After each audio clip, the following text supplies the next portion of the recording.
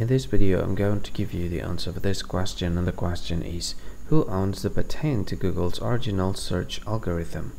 Well, now give you a list of the option and here's the list of the option. The very first option is Sergey Brin. Second option is Stanford University. The third option is Larry Page and the very last option is Department of Defense. And the correct answer for the question is Stanford University. Well, that is the answer for the question. Stanford University. Hi, thank you so much for watching this video. If you find this video is very useful, you can help this channel to grow by subscribing this channel. Please this subscribe button and don't forget to like this video.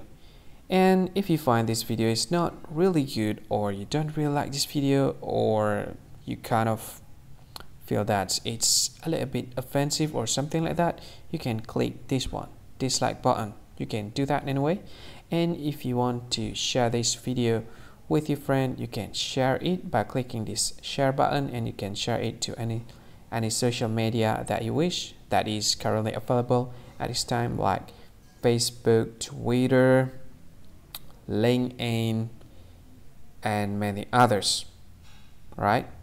And if you want to add this video to your playlist you can click this one. You can watch this video later and you can find more options by clicking these three dots.